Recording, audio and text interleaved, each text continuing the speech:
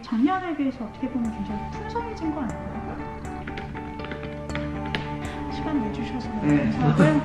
아, 너무너무너무 잘해주셨어요. 저는 온 김에 새벽으로 좀 오랜만에 좀 올라가 보려고요. 불꽃축제 유래비.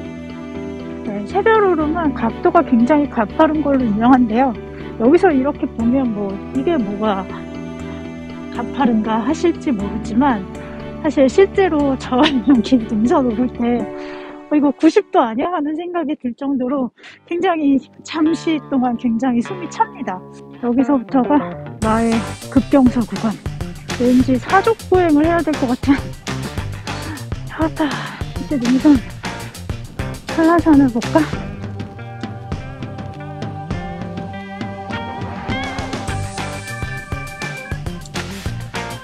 이렇게 멋있다고?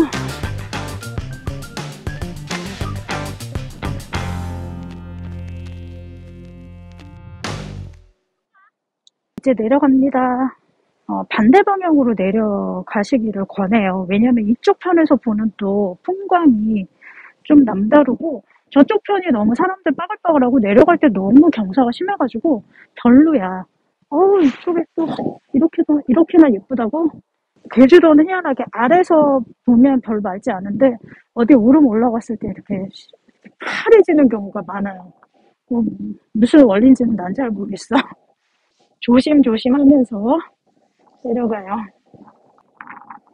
아, 바람이 불어서 이제 막 땀이 식는다. 와, 너무 예쁘잖아. 내려가면서 즐기는 풍광도 만끽하시고, 코너를 살짝 돌면, 계속 이어지는 길이 참 이뻐요. 아래로 내려가는 길.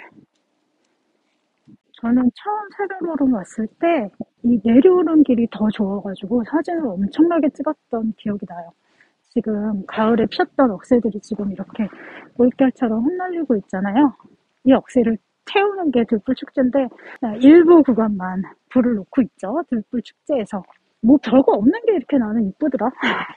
그 유명해진 카페죠. 저기가 거의 폐홀처럼 될 뻔했는데 저기서 보면 새별 오름이 잘 보여요. 난 도민이니까 안 가는 거지.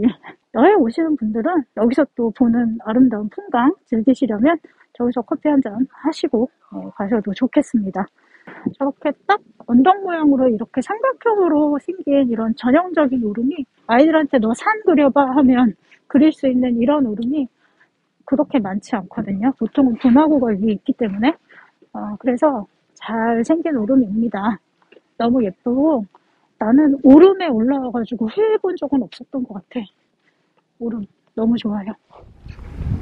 여기는 항목 유적지입니다. 보통 이 시즌에 항목 유적지에는 유채가 유채를 심어서 사진 찍으러들 많이 오시고 그랬는데 코로나로 네, 꽃을 심지 않았네요. 햇빛 있는 곳에 나가면 너무 덥고 요만큼의 그늘만 있어도 다시 또 좀 추운 느낌이 들어요.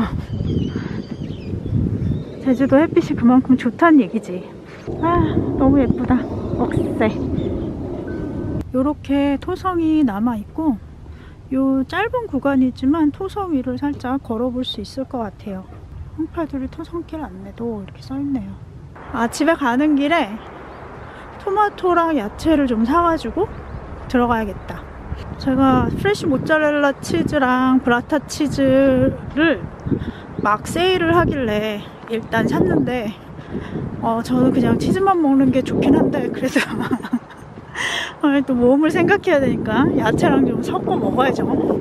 창고 같은 게 있어. 이렇게 낡은 창고 이런 게 너무 예쁘더라. 밤에 보면 무섭겠죠? 여기가 풀이 나고 초록이 우거지면 정말 예쁜 곳이에요. 그래서 지금은 이렇지만 또 놀러 오겠습니다.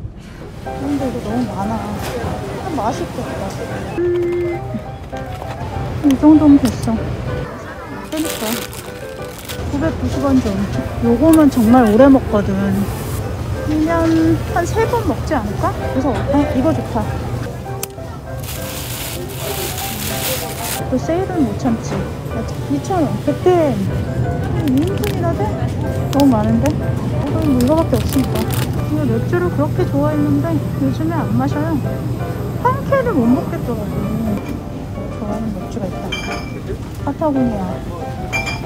음, 깔끔해, 깔끔해. 이거 하나 사가자.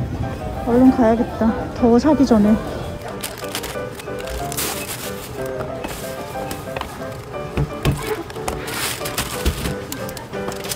쇼핑을 알뜰하게 해서 뭔가 마무리가 잘 된 느낌이에요. 오늘도 즐거운 여행이었습니다. 안녕!